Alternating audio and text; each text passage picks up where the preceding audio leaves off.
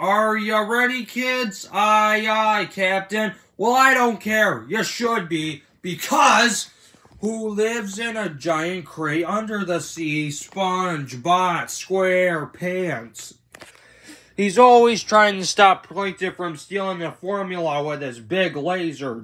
Ah! SpongeBob SquarePants.